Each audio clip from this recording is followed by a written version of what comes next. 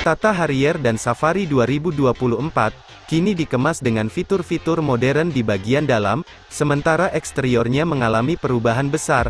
Eksterior kedua SUV ini, dilengkapi dengan bilah lampu LED lebar penuh, klaster lampu depan terpisah yang didesain ulang, bilah lampu LED lebih ramping, yang menghubungkan lampu belakang, dan banyak lagi.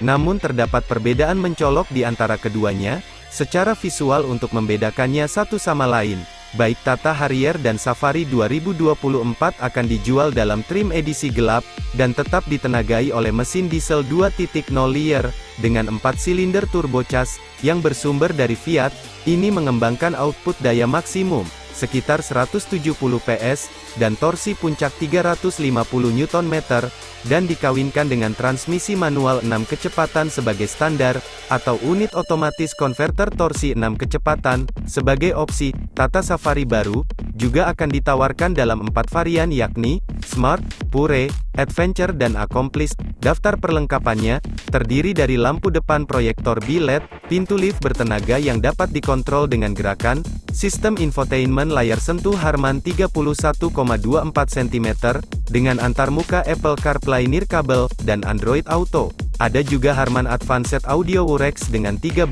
mode JBL, serta satu set velg 19 inci. Jelas SUV buatan Tata ini semakin gagah dan semakin bakal tandingi pabrikan Toyota.